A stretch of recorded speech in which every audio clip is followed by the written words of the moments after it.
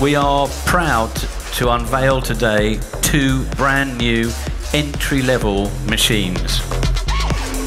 It might be a tough choice, but we think the outcome, either way, the Ninja or Z, will bring much needed fresh and enthusiastic riders into the two wheeled world.